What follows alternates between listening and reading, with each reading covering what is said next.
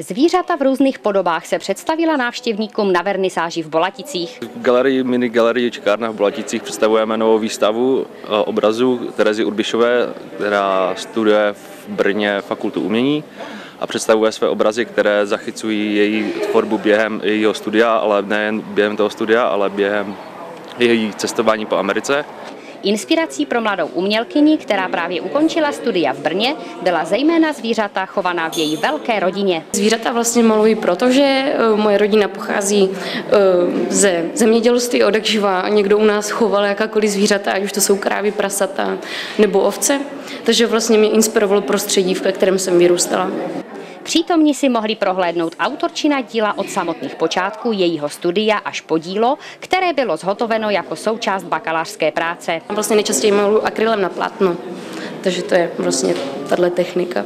Ty barvy jsou proto, že vlastně, když jsem studovala třetí, třetí um, semestr ve škole, tak jsem malovala vlastně sérii portrétů Albínu a ty barvy jsem zvolila, protože jsem nechtěla vidět, aby člověk poznal na první pohled, uh, o koho ve skutečnosti jde ať už o nějakou rasu nebo právě o toho albína.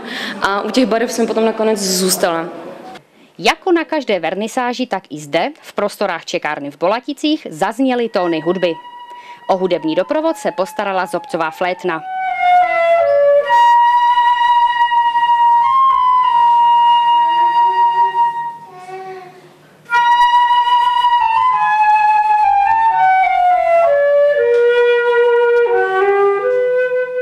Nečekala jsem vůbec, že přijde taková velká podpora, i když bylo takové horko, potom začalo pršet, člověk nevěděl, kde si lidi budou chtít schovat a tak jsem samozřejmě jenom ráda za to, že přišli.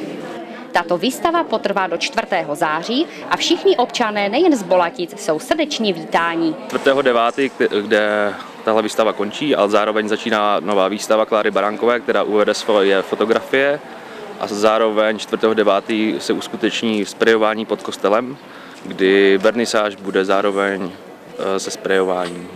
Z Bolatic Radana Doležilová.